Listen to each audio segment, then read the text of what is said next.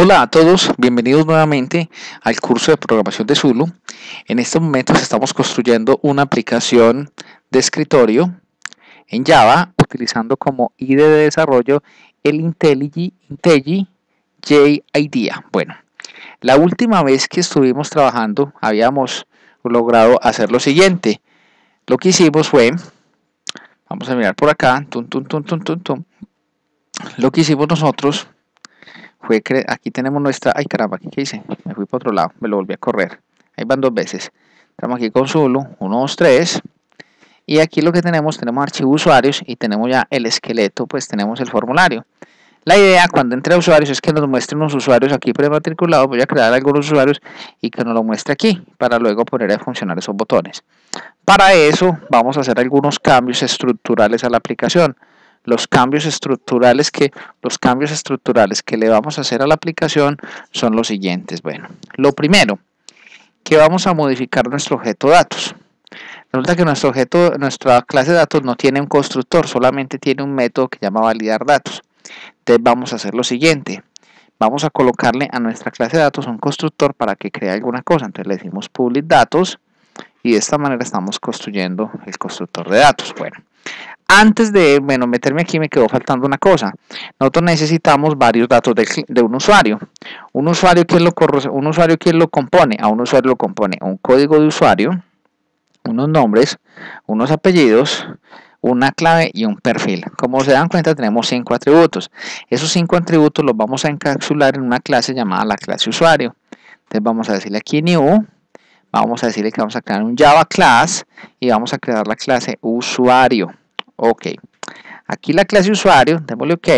Entonces aquí ya tenemos pacas clases y aquí creamos la clase usuario. En la clase usuario vamos a crear los atributos del usuario.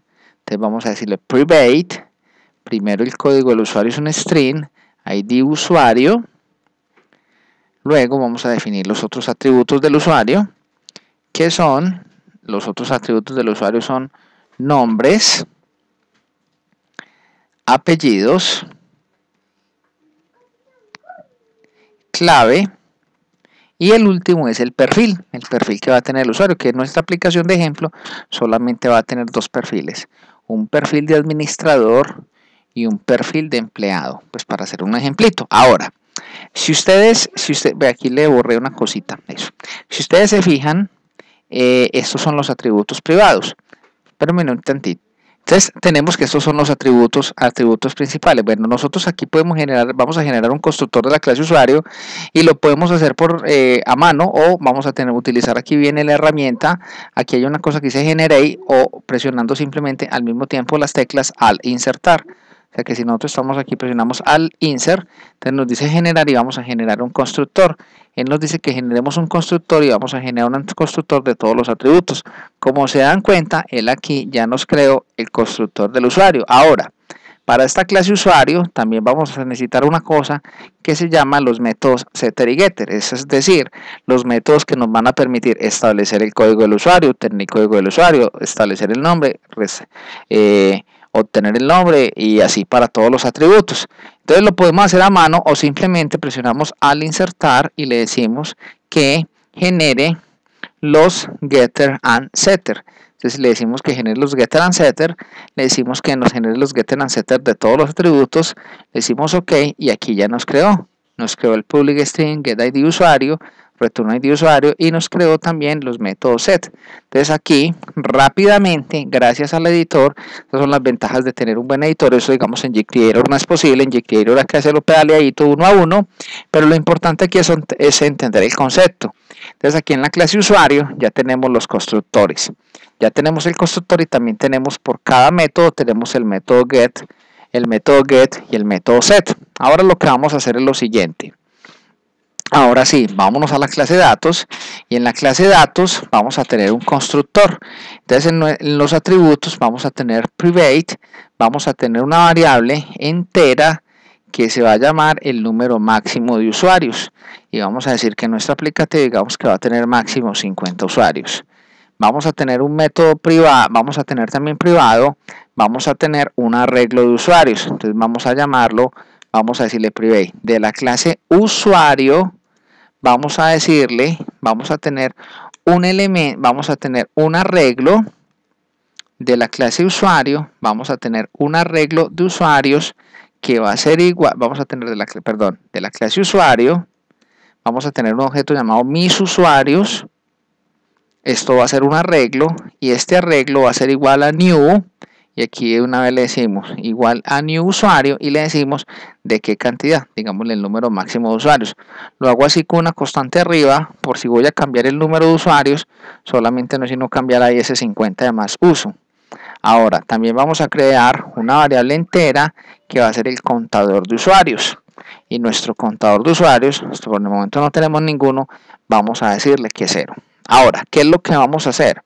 Vamos a hacer que cuando nuestro aplicativo empiece, o sea que cuando nuestro aplicativo datos, vamos a ejecutar aquí un método llamado cargar usuarios.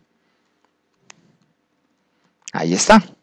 Este método cargar usuarios sale en rojito porque no existe. Entonces aquí simplemente tun tun tun tun espérate yo no. Entonces aquí lo que hacemos es que vamos a crear un método privado que nos va a servir para cargar los usuarios en esta clase, donde vamos a crear algunos usuarios quemaditos mientras, eh, esto lo podemos hacer privado, mientras los cargamos los usuarios de un archivo plano, que va a ser nuestro primer método de, de va a ser nuestro primer método para hacer que nuestro aplicativo sea persistente. Entonces aquí le decimos public void, colocamos el nombre del método cargar usuarios. Ok. Ahí estamos. ¿Qué es lo que vamos a hacer aquí en el método usuario? Vamos a cargar varios usuarios con unos usuarios quemaditos.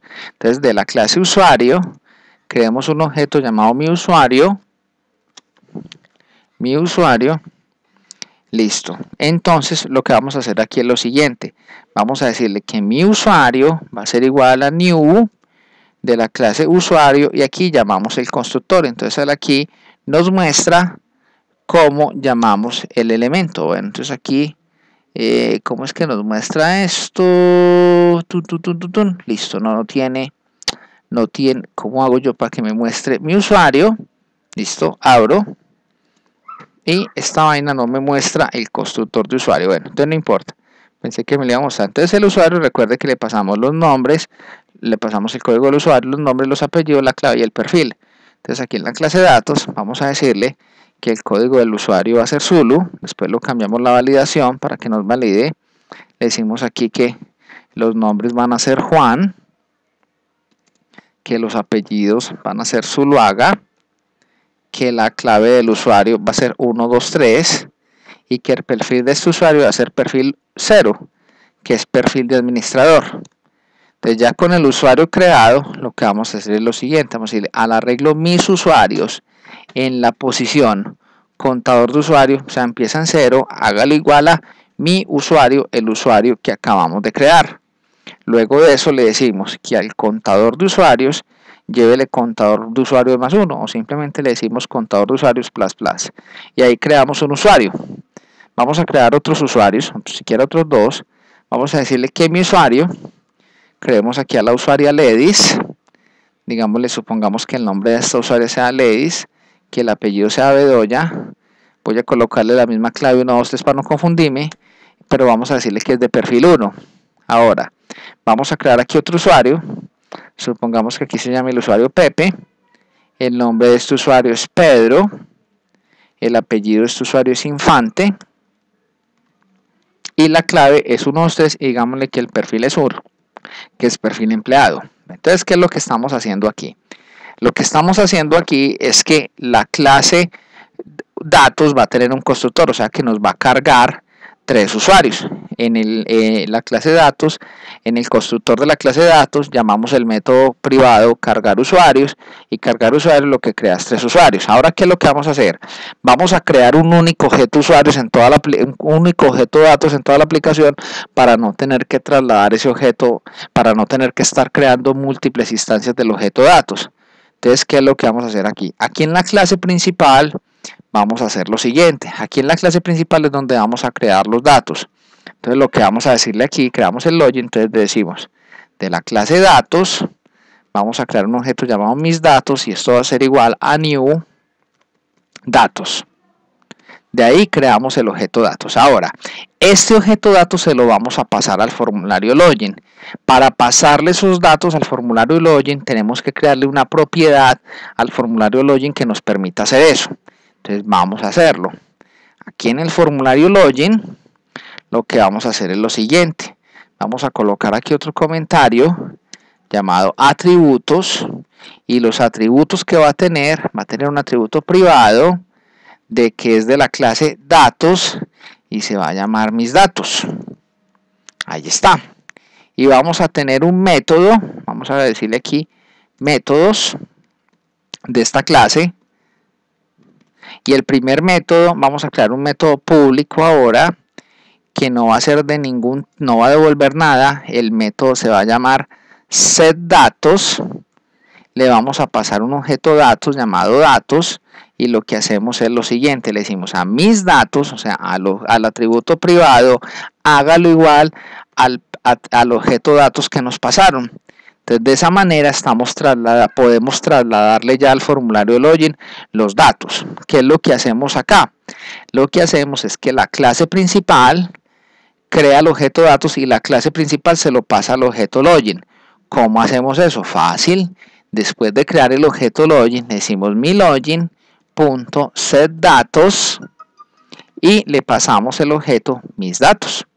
Entonces ahí creamos el objeto datos y se lo pasamos a login. Ahora, cuando login lo reciba, aquí tenemos, resulta que aquí el objeto login, si ustedes se dan cuenta, cuando hace la validación del usuario, por aquí en el botón, eso está por aquí más abajito, él crea el objeto datos. No vamos a crear aquí un objeto datos. Vamos simplemente a borrar esta línea. Vea que no saca error. ¿Por qué? Porque el objeto datos ya se comporta, eh, la variable ya no es una variable local mis datos, sino que vamos a utilizar el atributo privado mis datos. Vea que lo subraya como moradito. Ese moradito significa en este desarrollo que es un atributo propio. Y ahí validamos. Ahora, vamos a hacer lo mismo. Ahora, el formulario principal lo que va a hacer el formulario, el formulario login le va a pasar el objeto datos al formulario principal. Para hacer eso, nos toca también, voy a copiar esto que dice atributos y métodos y voy a copiar esta línea del formulario login, se lo voy a copiar al formulario principal. Entonces el formulario principal también va a tener la posibilidad, aquí donde dice objetos, voy a colocarle aquí, él aquí nos dice que importemos la clase de datos, no hay problema, la importamos y él aquí vamos a colocarle un comentario para que lo distingamos, este es el constructor de la clase.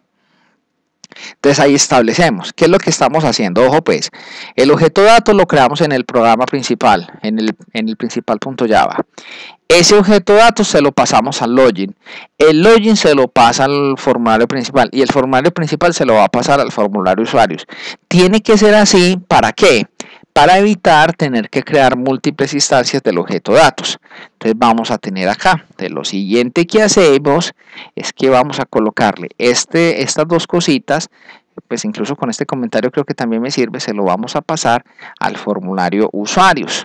Entonces aquí, después de la definición de objetos, vamos a decirle aquí, traque, también creamos y también tenemos que importar aquí obviamente la clase datos. Entonces ahí ya también tenemos la clase datos. ¿Cómo funciona esto? Mire, hagamos un repasito. La clase principal crea el objeto datos, es la única parte donde le damos el datos y el formulario datos se lo pasa al login. Cuando login hace la validación, por aquí es donde hacemos la validación, si la validación es válida, entonces lo que hace es que antes de llamar al formulario principal, le va a decir mi principal Aquí ya está visible el método setDatos. Le establecemos el objeto mis datos. Fácil, entonces ya le pasamos al formulario principal. Llegamos al formulario principal. Por aquí tenemos el formulario principal. Ahorita el formulario principal pinta pues los menús, hace toda la cosa. Y por aquí, cuando va a llamar al objeto mis usuarios, antes de mostrarlo, lo que va a hacer es lo siguiente. Le va a decir mis usuarios, punto, aquí ya está el método setDatos y aquí le pasamos el objeto datos. Y eso es lo que vamos a hacer. La idea no es no crear múltiples instancias del objeto datos. El objeto datos solamente va a existir uno por toda la aplicación. La única forma de nosotros pasar un objeto de una clase a otra es pasarlo como un atributo que fue lo que hicimos en este momento. Ahora sí llegamos al formulario usuarios. Aquí estamos. El formulario usuarios ya tiene, esto que se me, se me para allá, listo. El formulario usuarios ya tiene el objeto datos, pero aún no ha sido establecido. Entonces nosotros aquí en el método que hicimos, por aquí tenemos una tabla que no hemos llenado, pero para poderla llenar tenemos que activarle unos eventos al formulario. ¿Cómo así? Tenemos que decirle, ahí está el objeto datos, pero no está establecido. Cuando el formulario usuarios abra, cuando se dispare ese evento, nosotros hemos visto que los botones y los menús tienen un evento que se llama Action Perform. Ese evento Action Perform lo que significa es que cuando hacen clic ahí, o sea, cuando hacen clic en el botón o cuando hacen clic en la opción del menú se dispara un evento. Aquí hay un evento diferente, es cuando el usuario dice archivo usuarios, carga el formulario. Cuando el formulario ya ha cargado completamente, cuando el formulario hace load, ya lo que vamos a hacer es activar otro evento para que se nos muestren los usuarios en la tabla. Entonces, antes de poder mostrar el llenado de la tabla, vamos a colocarle aquí una cosa, eventos del formulario interno. Ok, entonces para crear los eventos del formulario interno, lo que vamos a hacer aquí, vamos a decirle a nuestro formulario add internal frame listener. Cuando le decimos add internal frame listener, el parámetro, esto va a estar aquí vacío, y aquí tenemos que realmente esto opera como una interfase. ¿Qué significa esto? Que nos toca definir una cantidad de métodos así no lo usemos. Me explico. Tenemos que definir aquí un método public void llamado internal Este se llama, tenemos como es una interfase, tenemos que decirle internal frame, internal frame closet. ¿Qué significa este evento? Este evento va a activarse eh, public void internal frame closet. Que close, ¿qué significa esto? Este evento se va a activar cuando cierren el formulario. Entonces aquí le pasamos como código un internal internal frame event. Internal frame event. Y le pasamos como parámetro internal aquí que le dijimos fire internal no es. Internal frame event. Y le colocamos un nombre al evento. Va a ser ebt puede ser cualquiera. Este internal frame event lo ponemos acá. Esta vaina nos está sacando nos está sacando por acá un errorcito. ¿Cómo le hacemos para, cómo es que le digo yo para, cómo es que es? Ay, fue pucha. Espérate que así no es. Y aquí al enter para que nos importe esa librería. Hay librerías que no es capaz como de importarlas automáticamente. Aquí ya no la importó. Ustedes se fijan, él aquí nos importó una cosa del Java Swing Event, Internal Frame Event. Ese evento tuvo que importarlo. Ahora, eh, aquí se llama EBT eh, bueno, es porque, ¿cómo es la cosa? A ver, add internal frame listener, abro y cierro, abro paréntesis, después le decimos public void. Bueno, bueno, lo que pasa es que, ah, no, no, no, no, no, no. Disculpen muchachos que yo aquí estoy más descachado que un berraco. Aquí me faltó un pedazo largo. Add internal frame listener. Aquí le decimos new internal frame listener. Y ahora sí, él ya, con razón, yo sí decía, este ID tan bueno y no me generó. Entonces vea toda la cantidad de código que nos genera. ¿Por qué nos genera todo esto? Porque como es una interfaz, y esto cierra con punto y coma aquí. Como es una interfaz, tenemos que implementar todos esos métodos, así los queramos o no los queramos. Entonces, de todos esos métodos, realmente el que a mí me interesa, el que nos interesa ahora inicialmente, es un método que es cuando nos abran el formulario. Cuando aquí, o sea, aquí tiene el primero de todos, el que diga internal frame opened. Entonces lo que vamos a hacer, simplemente vamos a, para no llenar esto de código, lo que voy a hacer es que voy a copiar esto y prefiero separarlo. Digámoslo form, el nombre de nosotros, digámosle internal frame opened y le pasamos como parámetro el mismo nombre del evento. Aquí lo que tenemos que hacer es crear este método. ¿Qué es lo que vamos a hacer en este método internal frame opened? Entonces vamos a irnos aquí al final. Entonces vamos a crear un método privado que no devuelve nada. Este método se va a llamar internal frame opened.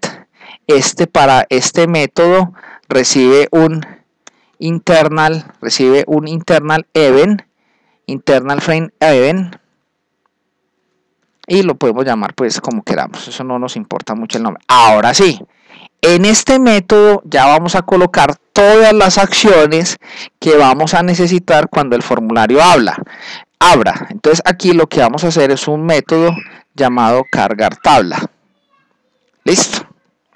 Ahí está, entonces quedamos debiendo. Entonces lo hago así llamándolo porque es mejor tener el código separado. Entonces ahorita sí creamos nuestro método private void.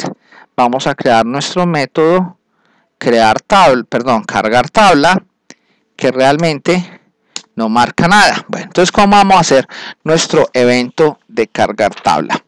Vamos a hacer lo siguiente. Entonces para cargar una tabla vamos a necesitar una cosa llamada string y vamos a colocar un string de títulos que van a ser los títulos que tiene nuestra tabla. Aquí van a ser las columnas que yo quiero que me coloque. Entonces las columnas, obviamente yo no voy a querer mostrar la, la clave, entonces vamos a mostrar el código del usuario, esto va a ser lo que aparezca en el encabezado, vamos a mostrar los nombres con la N mayúscula para que nos aparezca bien bonito. Ah, bueno, después del usuario también vamos a mostrar el perfil del usuario.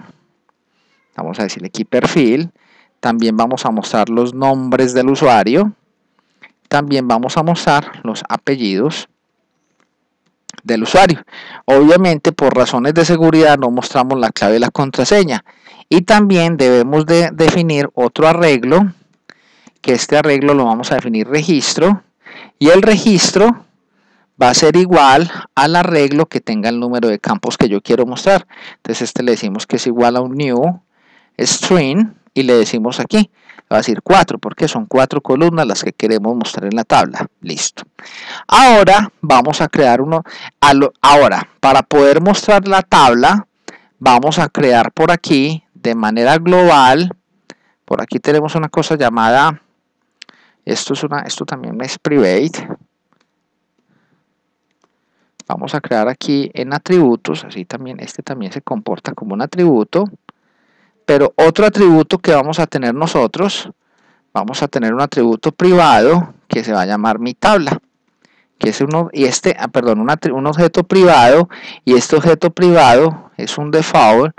Para poder crear la tabla, tenemos que crear un default table model. Default, ahora sí, un default table model, y este lo llamamos mi tabla. Pero aún no lo hemos asignado. Aquí en este método de cargar tabla es donde le decimos mi tabla a mi tabla hágalo igual a new y aquí le decimos default table model y como parámetros le vamos a pasar null porque no le vamos a pasar ningún result set y le vamos a pasar los títulos. Ahí está. De esta manera o sea si probamos hasta aquí Vamos a probar que no tengamos ningún error, aunque no hemos hecho nada con los datos verdaderos. Vamos a ver lo que pasa. Vamos a darle play a nuestro proyecto y ya les muestro qué efecto tiene todo lo que acabamos de hacer. Entonces le decimos aquí Zulu, contraseña 123, aceptar y le decimos archivo, usuarios. Ay, caramba, bueno. Ah, bueno, no estamos... No estamos cargando la tabla. Vamos a mirar aquí una cosita. Discúlpeme, no Ah, bueno, ya recuerdo, ya recuerdo, es que nos quedó faltando aquí una instrucción muy importante. A lo último, no, lo hemos, no le hemos ligado esta, este default table model al objeto mi tabla. Entonces le decimos al objeto tbl tabla, le decimos set model y le colocamos como modelo mi tabla. De esta manera, ahora sí, vamos a probar, ya nos debe mostrar la tabla aunque sea vacía. Tun, tun, tun. vamos a ver aquí, le decimos Zulu, 1, 2, 3, aceptar. Entonces le decimos archivo usuarios y aquí como dan cuenta está la tabla. Tiene código de usuario, perfil, nombres y apellidos. Ahora lo que vamos a hacer es vamos a llenar esta tabla. Lo que vamos a hacer es que vamos a llenar para que cuando el formulario cargue nos muestre los registros que llevamos los tres usuarios que hicimos ahí quemaditos, que es lo que vamos a hacer en este preciso momento. ¿Cómo hacen? Pero para hacer eso vamos a necesitar dos métodos en la clase datos. Vamos a necesitar un método que nos devuelva el número de usuarios que tenemos matriculados, que en este caso pues siendo 3, por eso cada que agregamos un usuario le estamos aumentando uno al contador de usuarios y vamos a necesitar un método que nos devuelva como tal todos los usuarios. Entonces vamos a hacerlo. Vamos a decirle un método public, este método nos va a volver un dato entero y este método se va a llamar número usuarios. Listo. Y este método número usuarios lo que devuelve, le vamos a decir simplemente return, retornamos el contador de usuarios. Fácil. Así como hicimos un método que nos retornara el contador de usuarios, también vamos a hacer un método aquí público. Y este método público vamos a decirle que nos va a devolver un arreglo de la clase usuario. Entonces vamos a decirle a este método, vamos a decirle get usuarios. Bueno, y este método simplemente le vamos a decir return. Listo. Return. Vamos a decirle que nos retorne el objeto mis usuarios. Así de sencillo. Voy a cambiarle el nombre a este para que quede más estándar. Vamos a decirle get número usuarios. Y así queda incluso más, más estándar la clase. Get número usuarios y get usuarios. Uno me devuelve cuántos usuarios hay en el sistema y el otro me va a devolver como tal el arreglo de todos los usuarios. Que es lo que vamos a usar aquí en nuestro formulario de usuarios. Entonces, ¿cómo vamos a, vamos a enlazar una cosa con la otra? Antes de definir el set table model, lo que tenemos que hacer es un ciclo. Le decimos for in i desde cero, for in i desde cero y menor que quién, que el número de usuarios. ¿Quién devuelve el número de usuarios? El objeto mis datos tiene un método que llama get número usuarios con incrementos de 1. Ahora ya sí tenemos un registro de usuario. Entonces lo que vamos a hacer, esta variable, este string, esta variable registro es la que vamos a cargarle. Le vamos a decir registro. En la posición 0, hágale igual a qué? A mis datos. Ojo pues, punto. Get usuarios. Pero recuerden que guest usuarios es un arreglo, entonces le damos una posición en la i y eso nos devuelve un objeto de la clase usuario. Y el objeto de la clase usuario tiene un método que se llama get id usuario. Y ahí le estamos cargando y vamos a hacer lo mismo para todas las posiciones del arreglo. La posición 0, la posición 1, la posición 2, la posición 3. Ahora, no vamos a cargarle a todos get usuario. Al otro ya le vamos a cargar el perfil. Al otro ya le vamos a cargar los nombres. Al otro le vamos a cargar los apellidos. Si se dan cuenta, la de perfil está sacando un error. ¿Por qué? Porque le estamos llevando a un arreglo de strings, le estamos llevando un dato que es numérico. Hay un truco para eso simplemente concatenen eso con un string vacío. Cuando yo le sumo un string vacío a cualquier expresión numérica, automáticamente convertimos toda la expresión numérica a un string. Bueno, aquí hay un error de número, aquí es en la posición 2. Ahora, lo que hacemos es que le decimos a mi tabla, vamos a adicionarle, decimos add row y le adicionamos el registro. De esta manera, Ahorita sí vamos a probar nuestro proyecto a ver qué es lo que pasa. Chun, chun, chun. Ahí cargo Zulu. 1, 2, 3. Entonces lo que hace aquí, ¿qué hace? Archivo, usuarios y aquí ya nos está mostrando los usuarios que tiene el sistema. Ahora, en perfil nos está mostrando una cosa muy barra, porque nos está mostrando 0 y 1 el usuario no entiende de esos ceros y unos, el usuario prefiere, el usuario prefiere que sean cosas que él, que él realmente entienda. Entonces vamos a arreglar primero ese tema de los ceros y unos. Muy sencillo. Lo que vamos a hacer es que vamos a crear aquí un método privado que nos devuelve un string y este lo vamos a llamar perfil. y como parámetro va a recibir un entero, va a recibir el código del perfil. Entonces este método lo que va a hacer es que dependiendo del código del perfil nos va a devolver algo. Entonces aquí lo podemos hacer con un switch. Le decimos switch ID. Entonces aquí ya le decimos las diferentes opciones. Le decimos case 0. Cuando el perfil sea 0, ¿qué vamos a retornar? Le decimos que retorne la palabra administrador. Ahí está. Cuando el perfil sea 1, ¿qué vamos a devolver? Vamos a devolver empleado. Y cuando no sea ni uno ni el otro, en caso de que haya un error, pues evite. En el caso, en el caso default, vamos a decirle desconocido. Aunque no debe nunca pasarnos pues el desconocido si hacemos la aplicación bien. Ahora, cuando estemos cargando esto, ya no va a necesitar necesidad de escanear esto, sino que le vamos a decir que de la clase perfil y le pasamos como parámetro lo que devolvió el perfil y a su vez el método perfil nos va a devolver el nombre del perfil. Vamos a darle play al proyecto para probar a ver si es verdad tanta dicha. Entonces le decimos aquí Zulu, 1, 2, 3, aceptar.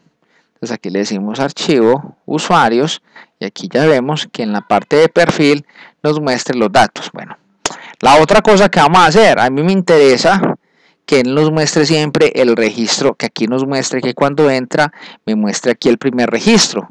Entonces vamos a hacer eso. ¿Cómo lo hacemos? Ya que ya todo lo vamos enlazando. Vamos a hacer un método, vamos a decirle que cuando el formulario abre, no solamente cargue la tabla, sino que también vamos a decirle que muestre el registro. Mostrar. Vamos a crear aquí un método llamado mostrar registro. Entonces, este para que este método mostrar registro funcione, aquí en los atributos privados de la clase, vamos a tener un atributo muy importante, vamos a decirle private, un entero que se va a llamar usuario actual. Y el usuario actual va a empezar en cero, porque el primer usuario que vamos a mostrar es el cero. Entonces ahorita sí creemos nuestro método, mostrar registro, que por aquí lo dejamos debiendo. Entonces lo que vamos a hacer es lo siguiente, para que no saque error, pues ese mostrar registro. Digámosle private voy, este método no devuelve nada, no recibe nada, mostrar registro. ¿Cómo vamos a hacer para mostrar registro?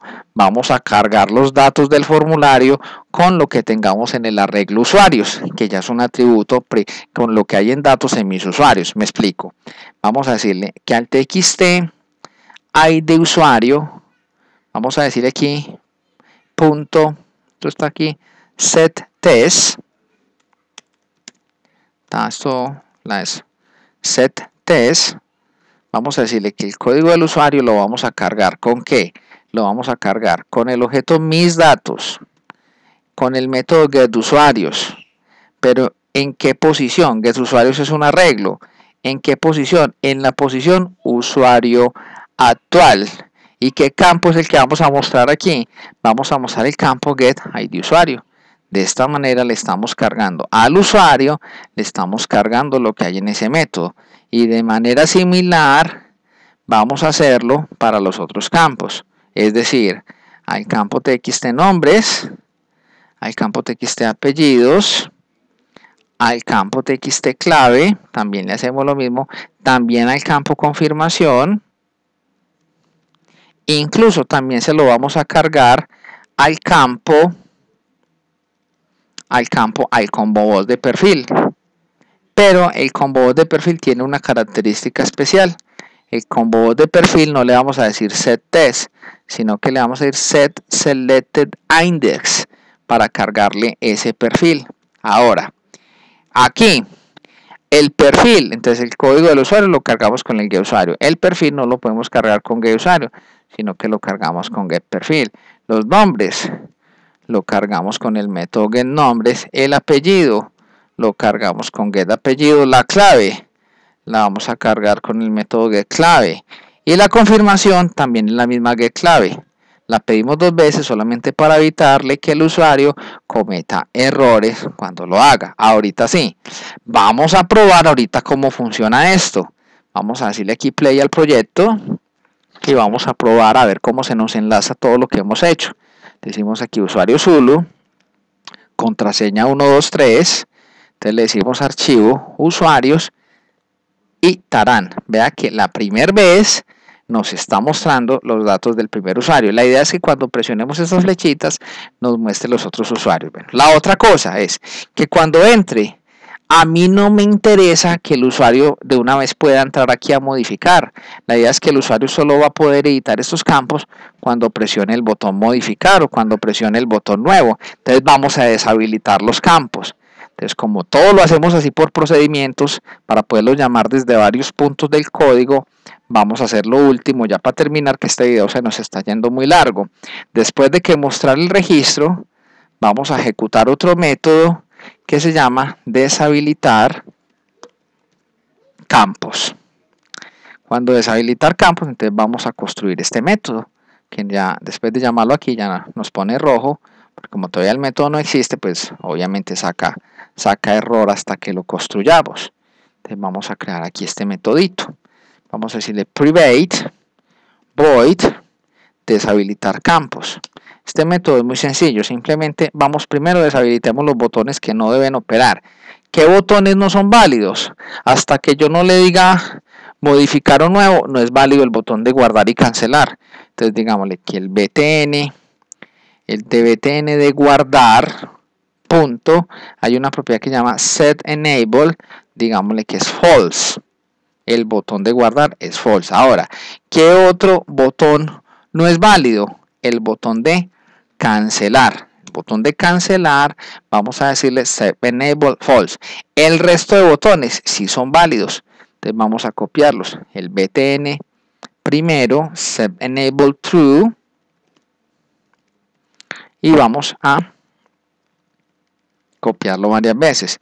El BTN anterior, true, el BTN siguiente en true, el BTN último en true, el BTN nuevo en true, el BTN modificar en true. Ya siguen los botones de guardar y cancelar, que esos van en false, pero los botones de borrar y los botones de buscar esos quedan true. Entonces aquí deben haber 10 botones. 1, 2, 3, 4, 5, 6, 7, 8, 9 y 10. Ahí está. Ahora los campos.